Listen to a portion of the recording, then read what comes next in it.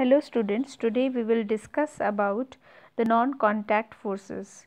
Non-contact forces are the forces experienced by the bodies even if they are not in the physical contact. Even if they are not in the physical contact and they experience some of the force that is called non-contact force. Example, first is magnetic force, second under this category will be electrostatic and third will be the gravitational force. Now what is magnetic force? It is a type of a non-contact force and that force is exerted by the magnet. You can see the nails are getting attracted towards the magnet. In case of electrostatic force, this is a force exerted by the charged body on another charged body. So this is the force of attraction between two charges and next one is the gravitational force that is attractive force basically exerting between two objects. Now in this slide you can see the non-contact forces, two types of non-contact forces, uh, magnetic force, this is shown in figure A and next figure is showing the electrostatic force. So the comb is there and the piece of papers are there. So this charged comb is attracting the pieces of paper. Same way here the magnet attracts the pins or the clips. So this is the non-contact force initially they were not in physical contact still they are experiencing some force of attraction. So, this is uh, the, these two are the example of non-contact forces. Now, this slide will show you about the electrostatic force. Here you can say opposite attracts, this is negatively charged body and this is positively charged body and they are attracting they get attracted towards each other.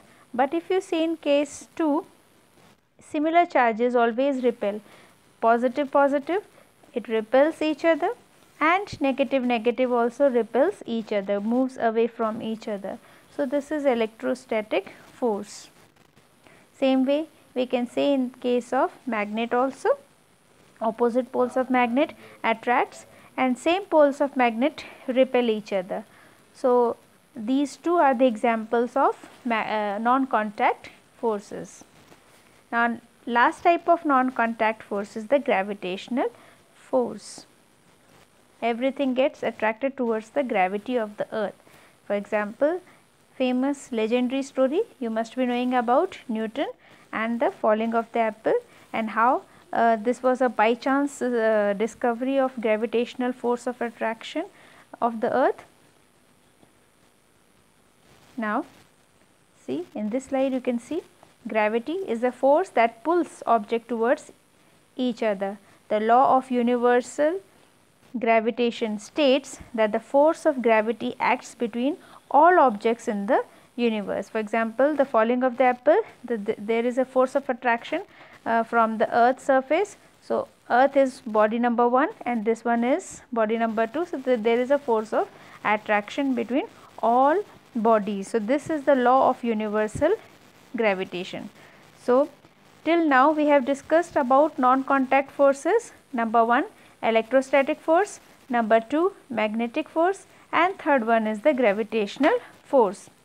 Here you can say in case of gravitational force the force of gravity acts between all objects. This is body 1 and this is body 2 or object 1 object 2.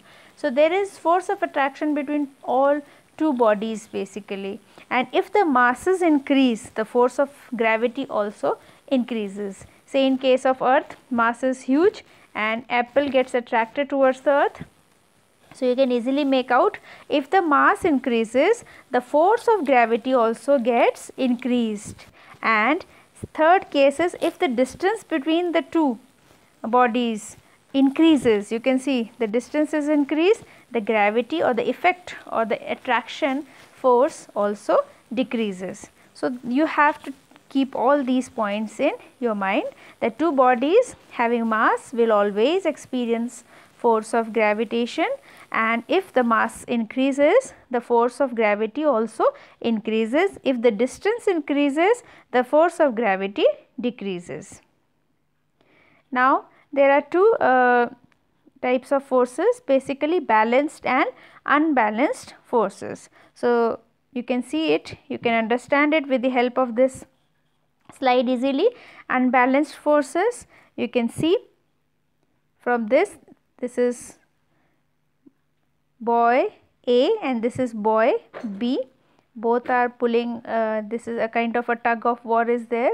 And uh, A is pulling it with 4 Newton force applying and another boy B is pulling it with 10 Newton force. So, what will be the net force or the total force basically. So, 10 minus 4 that is 6 Newton and it will move towards the right side that is B is exerting more force. So, net force will be 6 Newton and its direction of mo motion will be towards the right side and both are exerting unequal forces. So, such forces are called unbalanced forces. If one is exerting less force and another is exerting more, so it is called unbalanced force. And unbalanced force, the net, net force or the total force won't be 0.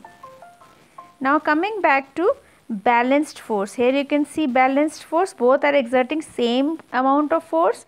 So, there won't be any uh, movement and uh, the bodies will be at rest only you can see here also both are exerting the same. So, balanced forces do not cause change in motion. They are equal in size and opposite in direction basically.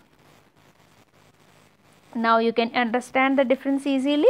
Uh, here equal forces act on the body in the opposite direction and here unequal forces from one side more forces there for example and from another side less forces there. So, 10 Newton for example and from here it is 4 Newton. So, you have to uh, take out the total uh, force. So, you can take out. So, in unbalanced force unequal forces act on the body from opposite direction and the net force is never 0. There, there will be some amount of force. These unbalanced forces make the body to move okay so here movement is always there because net force is never 0 but here in case of balance force net force is 0 and body is at rest. There is no motion. Why so? Because here equal force acts on body in opposite direction. So this is all about balanced and the unbalanced forces. Thank you very much. Revise well